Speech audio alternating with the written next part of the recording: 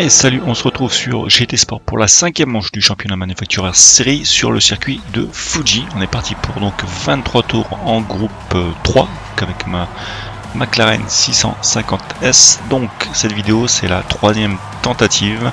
Comme la semaine dernière, je serais tenté de dire, ça a pas compliqué euh, sur les deux premières, mais euh, disons que j'ai pas pas été euh, au niveau en termes de points, c'était pas suffisant. Je devais être dans les 50-53 points, donc clairement pour rester euh, à mon niveau sur le classement, c'est vraiment pas euh, suffisant. Donc là, c'est ma troisième.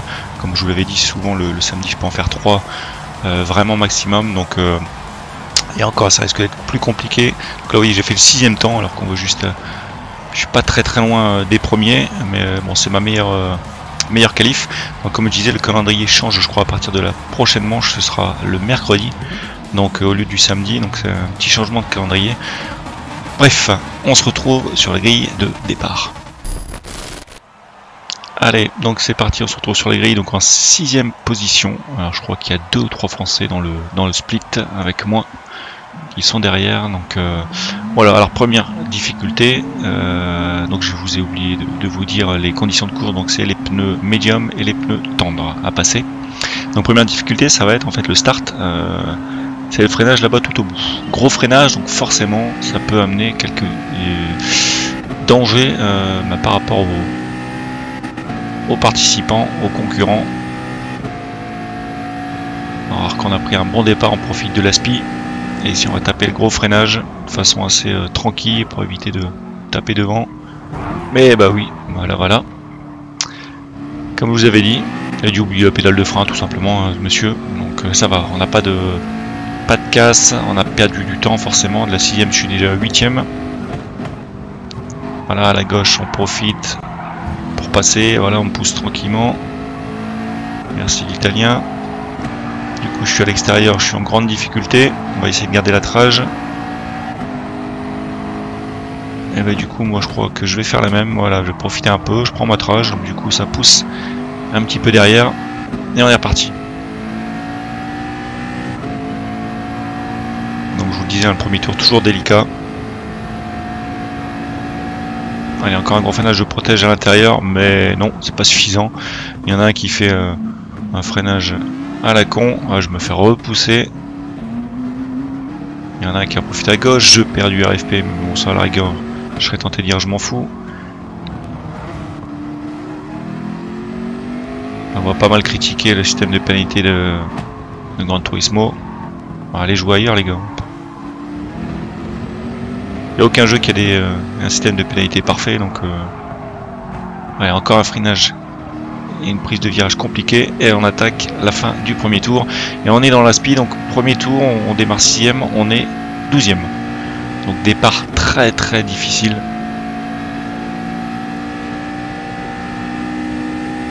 On reste dans la speed il va encore falloir gérer le freinage qui est assez, euh, assez difficile. Ça je me décale un petit peu ou freiner un peu avant Je reviens fort dessus. On reste à l'extérieur pour pas taper. on, peut, peut pas le prendre pleinement. Ah, alors que là, là. Ça part un petit peu. Oh là là, lui a failli me, défoncer. Allez, on est 11ème. On reste à l'intérieur. C'est un peu juste, mais bon, je suis obligé de toute façon. Euh, à un moment, il faut bien passer. Hein. Derrière, ça tente de passer aussi. C'est à, l'intérieur. Moi, je suis à l'extérieur. J'arrive à garder la, la motricité. C'est chaud. Hein. Voilà, je passe entre les deux.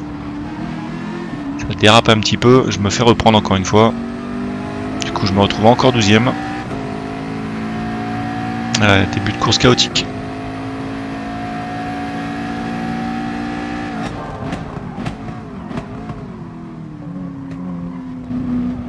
Alors, je suis parti entendre.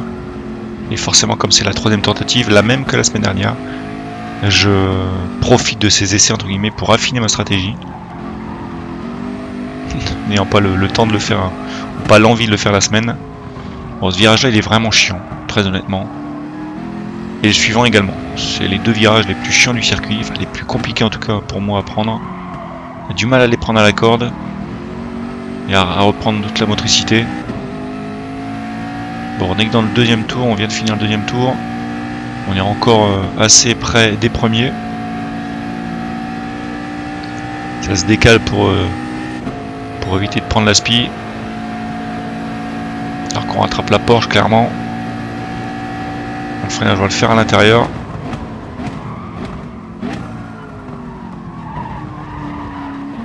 Ah, c'est un peu juste, hein, mon passage en courbe là. Derrière, il a subi un peu euh, mon attaque. Bon, à un moment, toujours baisser le pantalon, c'est un peu chiant.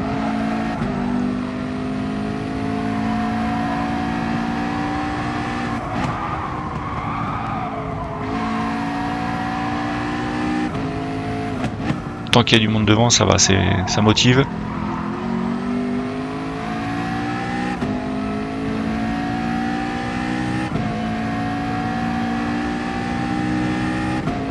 On attend un peu que ça se calme euh, pour parler un peu du titre de la vidéo.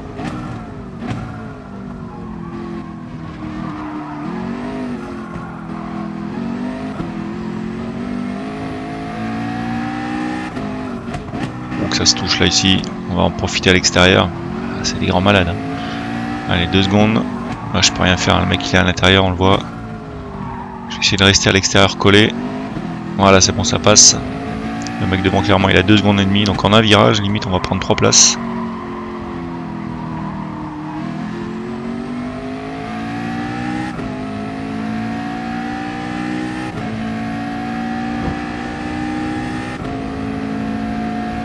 Allez, on se retrouve 8 ème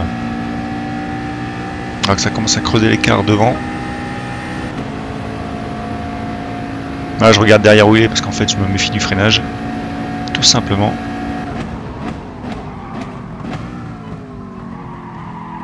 Alors pas trop prendre les vibreurs, hein, ça, déstabilise énormément la voiture. Donc là c'est un peu plus calme. Donc on en vient au titre de la vidéo, dernière vidéo YouTube. Alors je vais vous évoquer, en fait pour ceux qui me suivent depuis un moment, alors que là le 6ème, 7ème maintenant sort très large, on va revenir dessus. Voilà, ça revient comme un port sur la piste, c'est pas grave. Donc ceux qui me suivent depuis un moment savent que voilà j'ai déjà eu des hauts et des bas en termes de, de, ressenti, pas de ressenti, de publication sur YouTube. Je pense que comme tout à chacun, on a des moments où c'est plus ou moins la motivation est plus ou moins là. Et ces derniers temps, euh, lui me fait un freinage de la mort qui tue. On reste à l'extérieur, il me laisse pas passer forcément, et je me retrouve encore huitième. Et euh, donc, et ben en ce moment, je vois que ah ouais, je suis là aussi grand. Que les vidéos perdent des vues perdre des likes, perdre des commentaires. Alors que là c'est très très dur. Je viens de perdre deux places, merci l'italien Ken Block.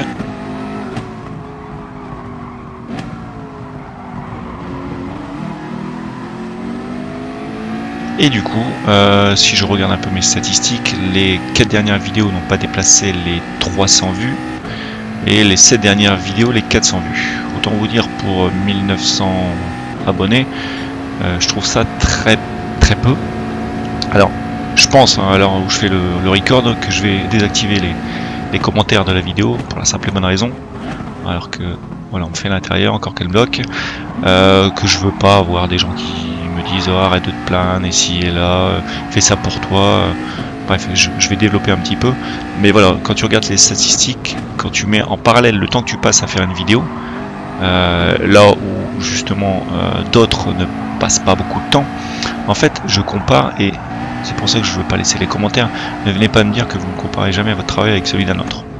Si tu veux savoir où tu te places, si tu veux savoir où tu en es, si tu veux savoir euh, comment évoluer, il faut se comparer. C'est tout à fait normal.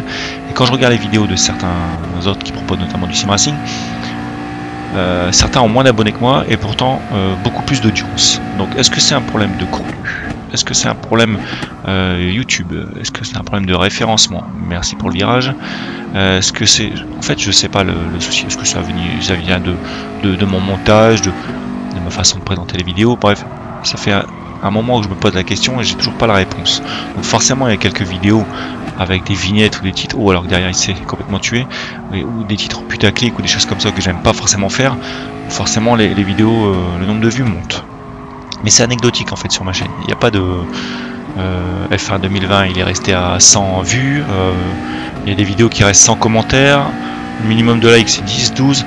Donc quand tu regardes quelqu'un qui a moins d'abonnés, qui fait le même contenu euh, moins qualitatif. Pourquoi je dis moins qualitatif? En fait, moi, si vous le savez, rarement, et là pour le coup, là sur cette vidéo je le fais, rarement vous avez que euh, un vidéo de montage basique. Souvent il y a du montage avec les replays, souvent il y a du montage avec des cam ou volant et pédalier, parce que j'essaye de proposer quelque chose qualitatif. D'autres ne font que euh, de la vidéo de gameplay ou de la vidéo de, qui filme les écrans et euh, soit ils font du commentaire comme moi en, live ou soit ils font du commentaire après, après course. Et euh, les vidéos sont bien plus vues. Donc c'est là où je me dis pourquoi tu perds ton temps à proposer quelque chose que tu estimes être plus qualitatif mais qui au final n'est pas vu n'est pas intéressant euh, pour revenir sur les statistiques, j'ai regardé un peu sur mes dernières vidéos. En fait, par exemple, il y en a une. Euh, il y a eu, euh, je sais pas, vous dire approximativement 700 vues.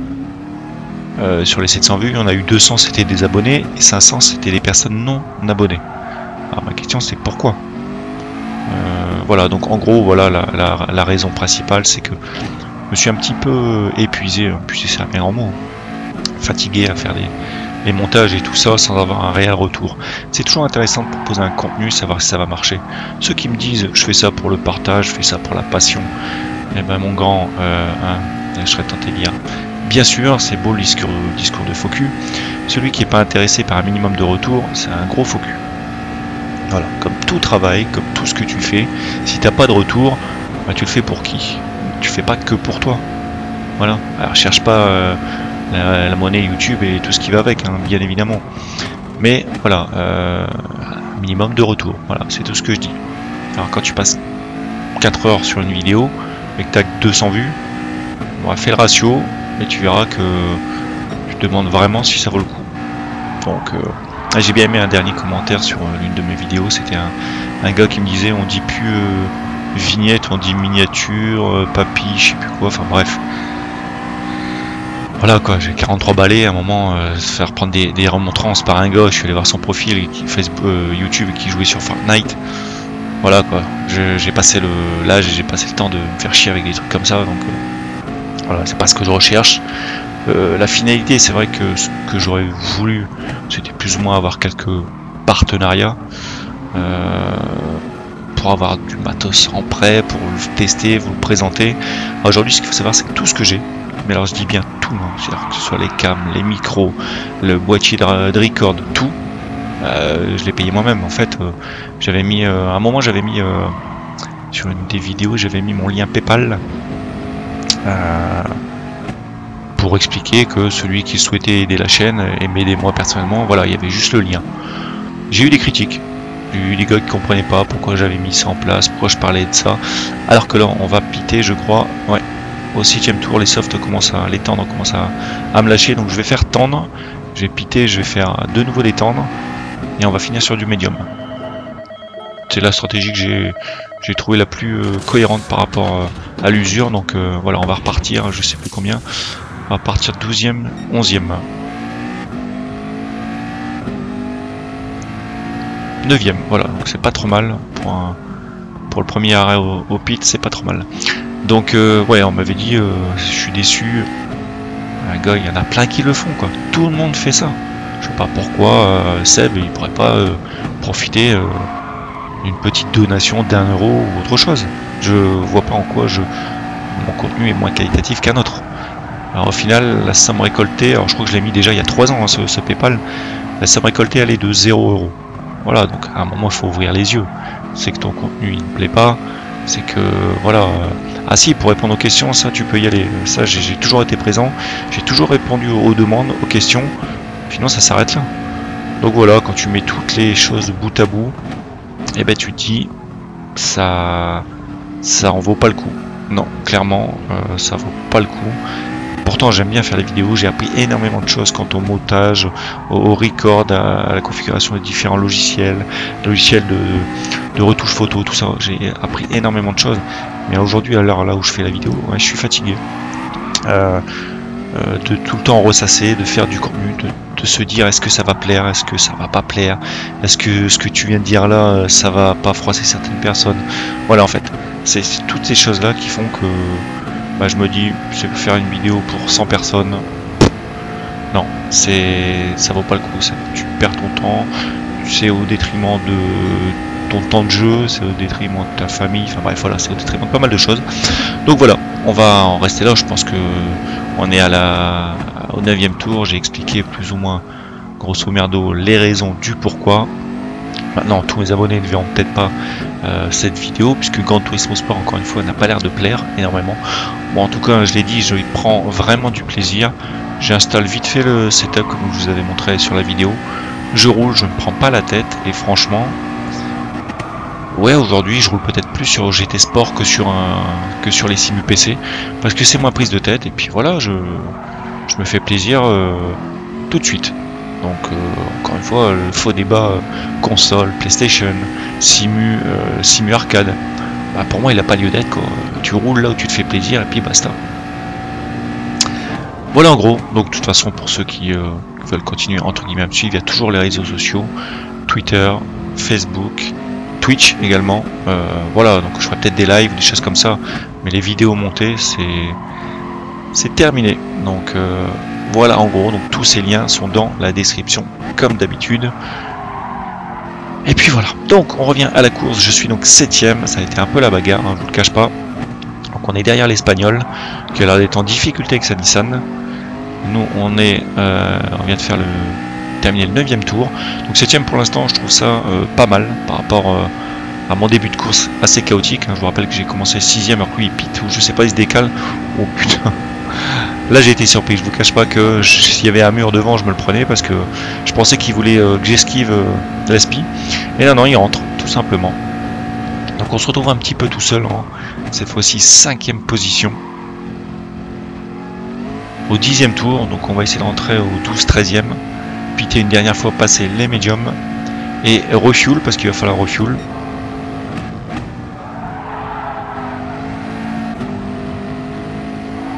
Alors en contenu, ce qui était prévu, vu que j'ai un petit peu de temps et puis que c'est un peu plus calme, euh, il y avait la 3080 qui était prévue. Le jour où j'en trouve une, forcément. Le nombre de messages que j'ai eu pour la revente de ma 2080, c'est juste hallucinant. Et à chaque fois, je suis obligé de dire non, pas dispo. Merci Nvidia. Franchement, là, euh, c'est le lancement le plus foireux que j'ai jamais connu. Euh, ensuite, qu'est-ce qu'il y avait d'autre? Le HP Reverb G2, qui est prévu, qui va bientôt arriver également. Euh, qu'est-ce qu'il y a d'autre bah, La PS5 pour lequel je devais faire aussi euh, du contenu.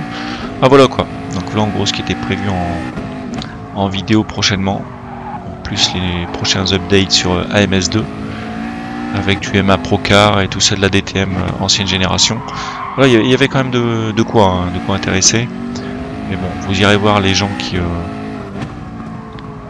que vous avez l'habitude de voir, les gens qui se cassent pas la nénette à faire du montage, et ça passera très bien pour eux, tant mieux, hein, je sais pas aigri ou jaloux, hein, c'est pas le souci. Hein.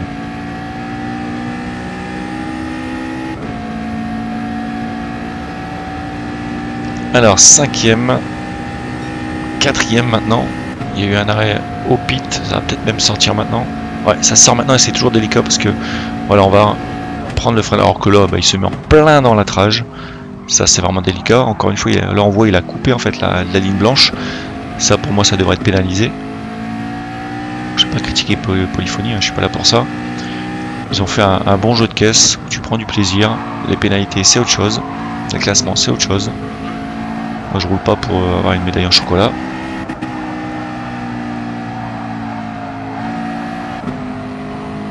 Donc là clairement je crois qu'il est plus rapide que moi. Je reste pour l'instant devant, malgré qu'il vient de chausser euh, les nouveaux pneus. J'arrive à le suivre péniblement. Derrière, c'est à 4 secondes 6 l'italien, donc ça va encore.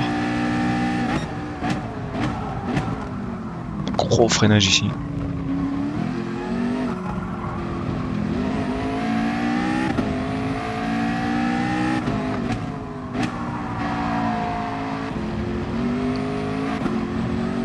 Magnifique lever du soleil. La course doit être à 5 ou 6 heures du matin, je crois.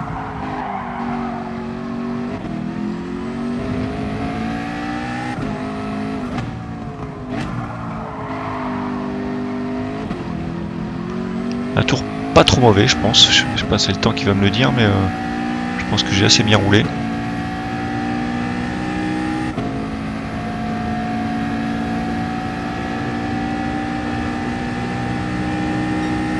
C'est dans ma, dans ma moyenne. euh, pas trop mauvais.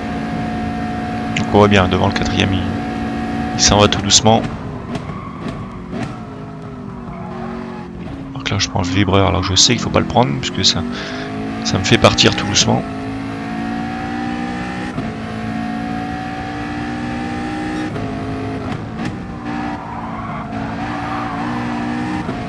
Les meilleurs, juste pour info, me prennent, je crois, 2 à 3 secondes. Et je me dis, mais où? Mais où? C'est ouais, c'est hallucinant. On appelle ça des extraterrestres, mais euh, il y en a partout. 3 secondes, c'est juste dingue. hein. Franchement, je sais pas où on peut les choper. Alors, le temps que je vois, euh, j'a- j'avais regardé des, replays de, certains, certains temps euh, incroyables. Les trages sont pas si différentes des miennes. Je sais pas. J'ai pas tout compris.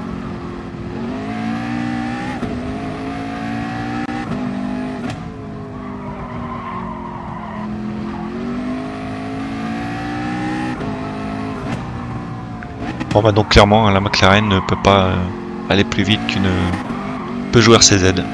Il faut que je me fasse une, raison.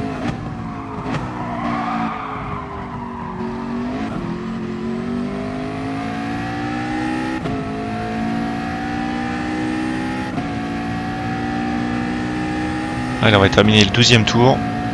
On est toujours euh, cinquième. Je regarde si ça rentre pas au pit. Non, ça ne rentre pas.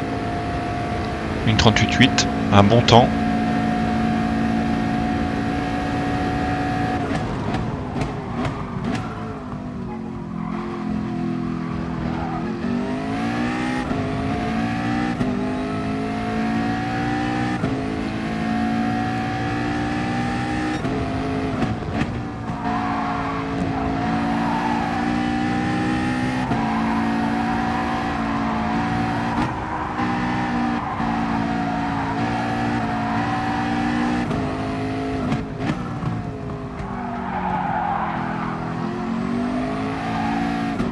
J'ai failli la perdre. Les pneus commencent à, à me lâcher tranquillement. Je sais plus si je pite à ce, à ce tour-là. Il va falloir passer les médiums.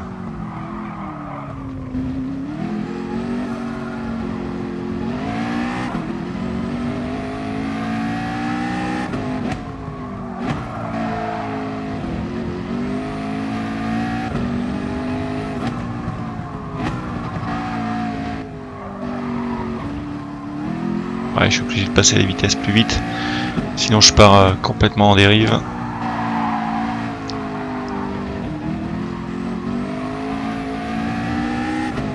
Je serais judicieux de rentrer maintenant, mais je n'ai pas l'impression. Ouais, je crois que je fais encore un tour. Il faut pas oublier derrière qu'on passe les médiums, il faut pouvoir aller au bout aussi. Donc euh, derrière, ça remonte à une vitesse dingue. 2 secondes 6. C'est peut-être le tour de trouille, celui-ci, je sais plus.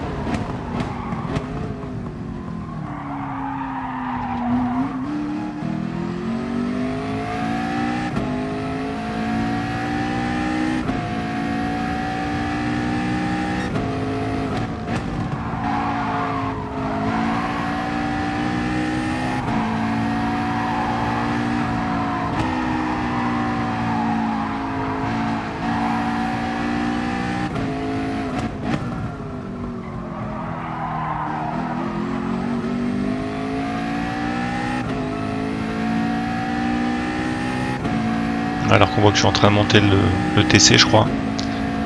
Pour m'assurer un peu les virages, parce que voilà, ça devient compliqué. Et dangereux surtout. Au-delà de perdre du temps, on peut perdre bien plus que ça.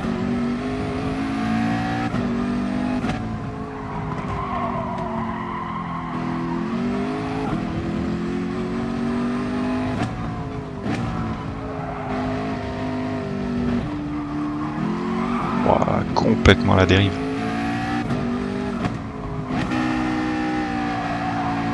Je le prends n'importe comment.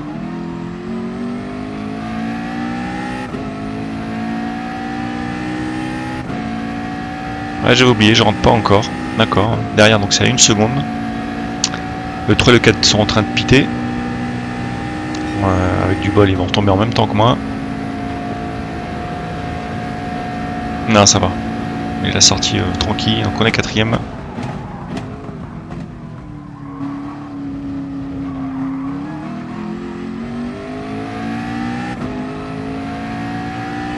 Donc comme d'habitude, hein, je vous montrerai le classement euh, championnat à la fin si j'y pense. Enfin, celui-là, faut pas le cutter trop parce que sinon c'est la pénalité. Derrière, il est à moins d'une seconde. Un total drift là.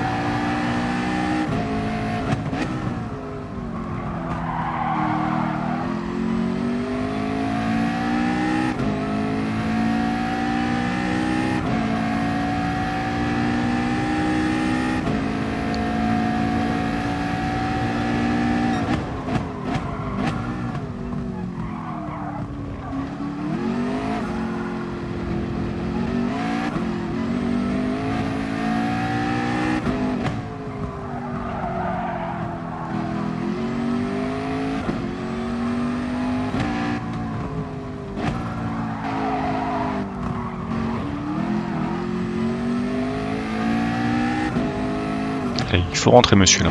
Faut s'arrêter. On va bientôt rouler sur, euh, sur les jantes.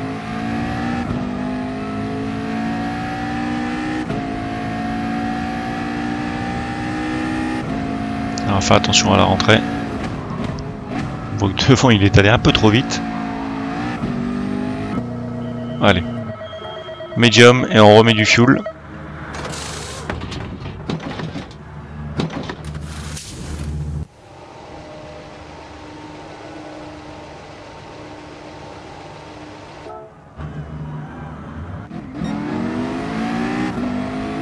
Dégueulasse sa Porsche. Alors on repart 7ème. Ouais. Alors que lui il était rentré, bah, c'est lui qui était rentré avec sa pénalité de zone. Donc du coup lui on va se le manger tranquillement, pas la peine de, de trop le harceler.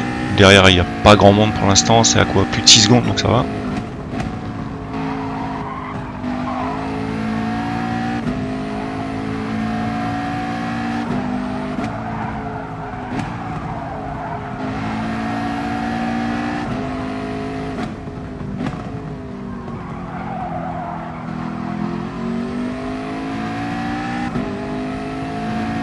Comme évoqué, peut-être que la prochaine manche, donc ce sera mercredi soir, forcément, je la ferai sur Twitch, j'en sais rien, très honnêtement, alors où je vous parle, je sais pas du tout où je vais, donc euh, on verra bien.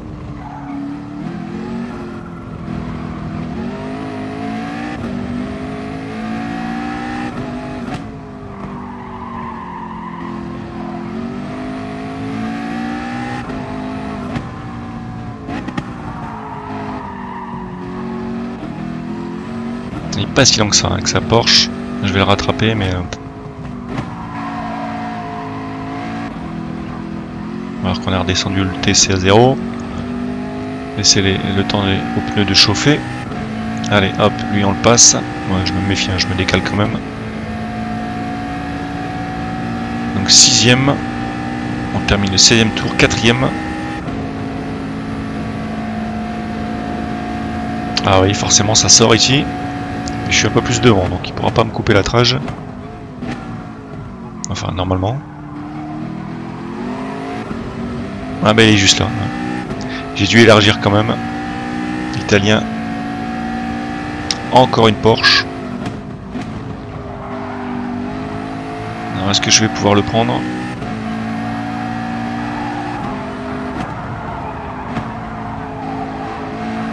Il prend le virage serré mais euh, je sais pas comment il tient lui.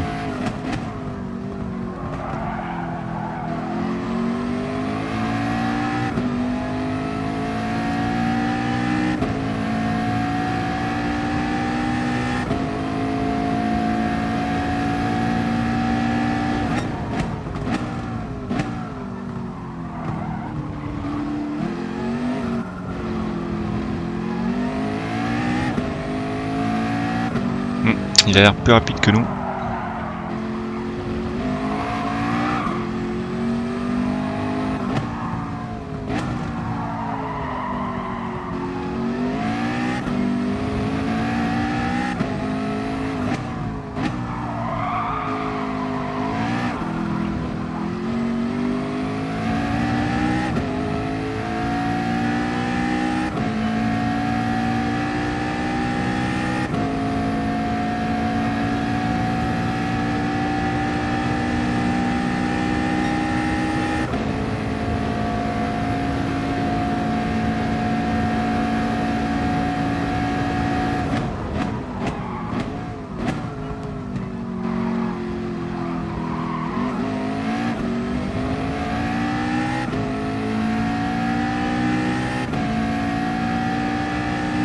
Allez, 5-6 tours à tenir.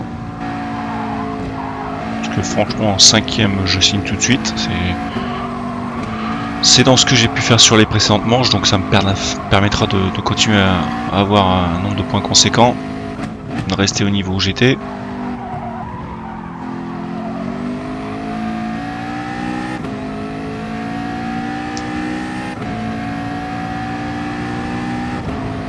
de rester à peu près 10 minutes de course.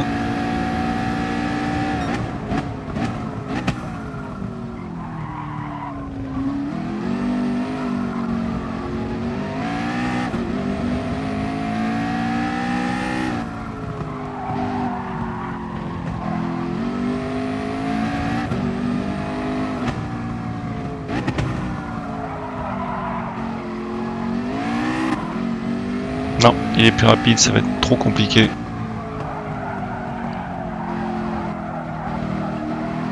Il va surtout falloir faire attention. Ouh Alors là, ça y être la catastrophe. Attention, tu pars en tête à queue, c'est fini. Hein. Derrière, tout le monde te passe devant.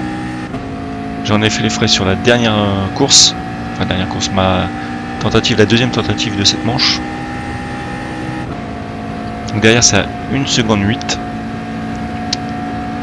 Il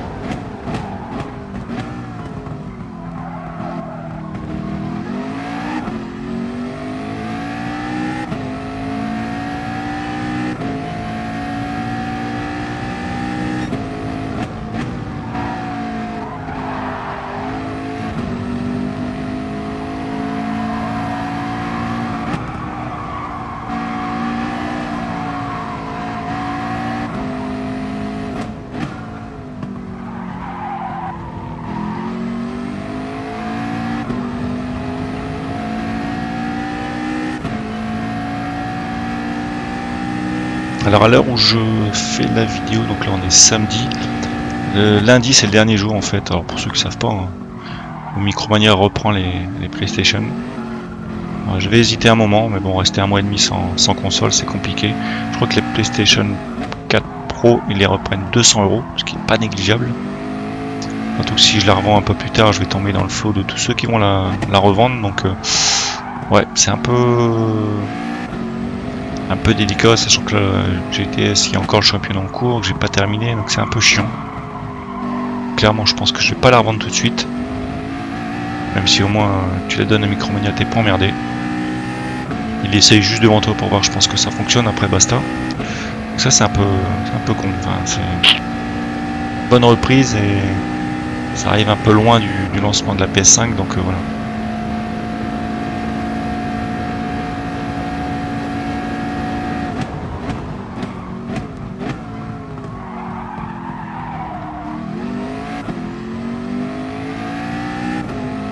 Aussi, un PS5 ça a été un fiasco au niveau des précommandes. Et je pense que même c'est euh, entre guillemets à cause de ça qu'ils sont en train de revoir leur politique de développement de certains jeux qui ne devaient pas être cross-gen. J'ai même entendu parler de, de Resident Evil Village qui devrait peut-être porter sur PS4. Tant mieux pour ceux qui, qui passeront pas à la next-gen, mais honnêtement, c'est un peu con et dégueulasse. C'est comme ça. Forcément, si au niveau en vend des, caisses et des caisses, le parc installé PS4 il est là. Et comme euh, tout le monde passera pas à next gen par manque de dispo, aussi. Tout s'explique. Bon, derrière l'espagnol, 1 seconde 6, ça revient tranquillement, on le voit hein, tout en, enfin, en haut dans le, dans le rétro commence à avoir des difficultés avec les pneus. Je commence à prendre des trages un petit peu hasardeuses.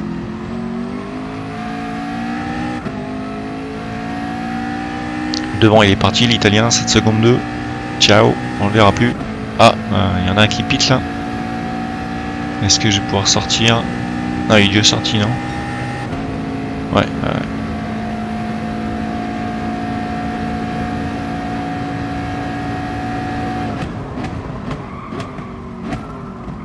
Suis un peu loin.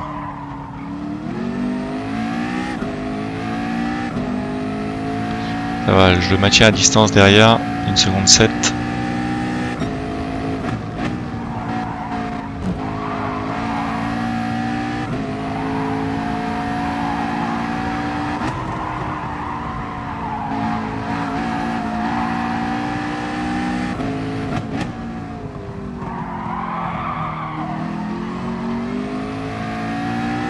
A dû se louper 2 secondes de maintenant, donc c'est assez tranquille pour terminer la course. Sauf euh, erreur de ma part ou euh, souci de vent. devrait terminer comme ça.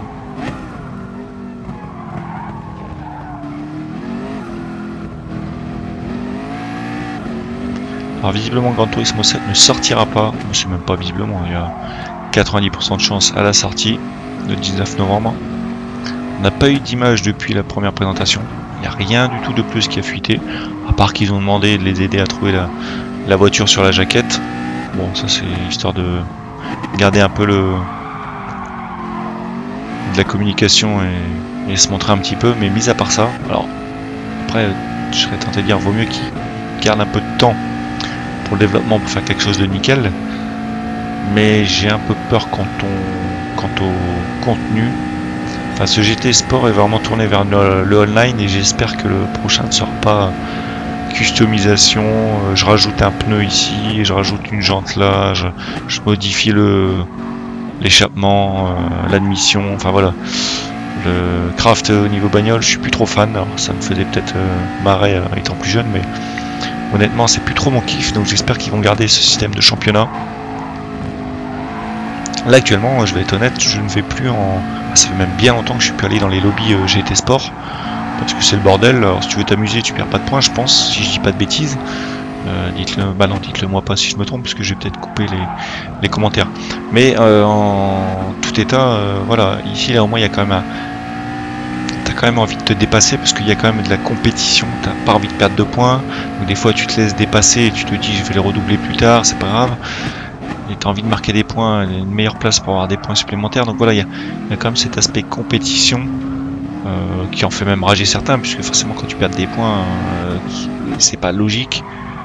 Ça c'est compréhensible, hein. je, suis tout à fait d'accord avec ça. après ça reste qu'un jeu. Mais voilà, cet aspect euh, compétition online, j'ai peur que ça va disparaître de GT7. J'espère vraiment pas, parce que ce serait vraiment dommage.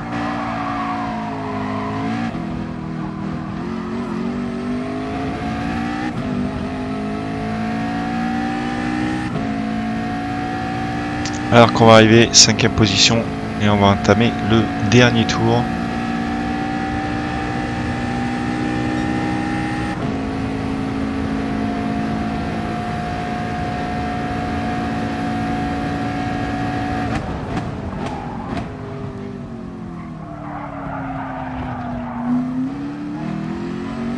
En tout cas, pendant ce dernier tour, moi, je tenais quand même à remercier hein, tous ceux qui m'ont suivi tous ceux qui postaient des commentaires, tous ceux qui postaient des likes.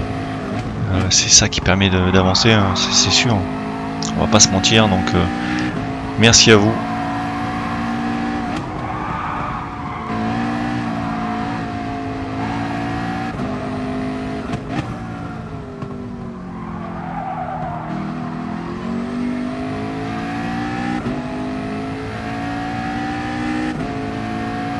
Alors je pense qu'au niveau stratégie on était bon comme sur la manche précédente. Alors ça paraît bizarre, hein, mais il faut chausser euh, tendre, tendre et médium. Je pense que c'est la meilleure chose à faire. Alors logique ou pas, voilà, c'est des fois un peu bizarre, mais euh, c'est ce qu'il faut faire dans GT Sport pour, euh, pour performer, pour être devant. Alors derrière, je vois il est revenu à une seconde, une, même moins d'une seconde là, mais bon, j'y vais mollo, hein. là je prends plus de risques. De toute façon, il doit être plus ou moins dans le même état. Je prends le dernier virage n'importe comment. Je me fais même peur, je me dis tiens avec l'SP il va revenir sur moi, mais bon il est à une seconde. Donc ça devrait aller.